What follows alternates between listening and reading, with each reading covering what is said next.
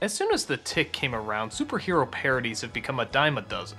There's some real good ones, there's some real bad ones. But bottom line, the shtick has been done to death. So if you're gonna do it, you should have a really damn good angle. Megamind sort of does. It's nothing really that new. It's the superhero, supervillain, and damsel in distress sort of taking on roles they wouldn't usually take on. So from a comedic standpoint, it doesn't really work that great, but from a dramatic standpoint, it actually has a few good moments. We have Megamind, played by Will Ferrell. He's in the process of trying to destroy a superhero played by Brad Pitt by kidnapping his lady, played by Tina Fey. All three of them have gone through this shtick dozens of times. The hero always wins, the villain's thrown in jail, and the damsel is always rescued. That is except for one day, when it appears that Megamind actually wins. Yeah, he actually destroys the superhero and ends up taking over the world. But he quickly realizes taking over the world is kind of boring.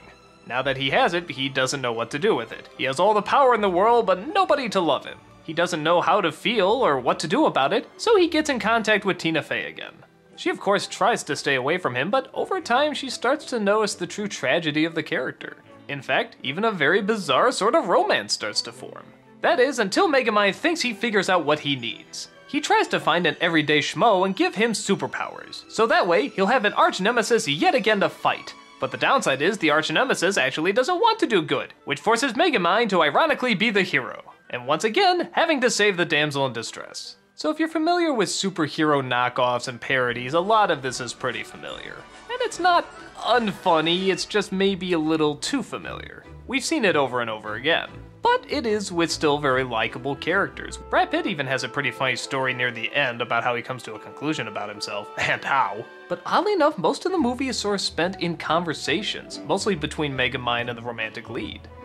They're pretty good conversations. I'll admit, I probably would like a few more laughs out of this. I mean, I would like to see a comedy, but for these conversations they're having, it's not bad. I actually do end up caring for both of them, and am sort of curious where the relationship between the two of them is going to go. The action in the movie is good, but not as good as some other DreamWorks animation.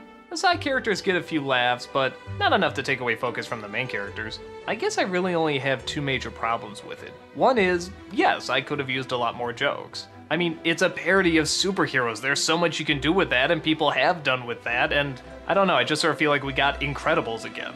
Taking what should be a superhero comedy and making it actually pretty serious. But to be fair, from a different point of view.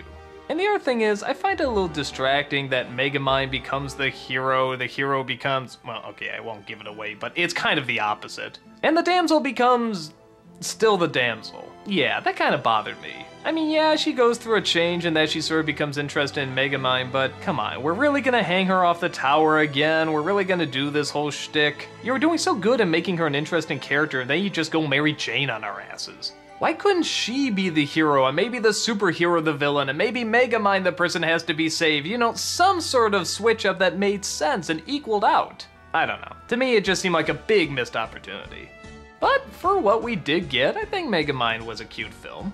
I'd say it certainly has more adult moments than other DreamWorks movies in that, well, there's a lot of sitting down and talking. But like I said, I think the characters are enjoyable enough to listen to.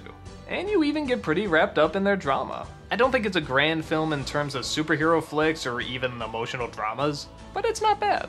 I came out glad to know that the characters I wanted to be okay came out okay. Not a great film, but a good one. I'd say it's definitely worth checking out.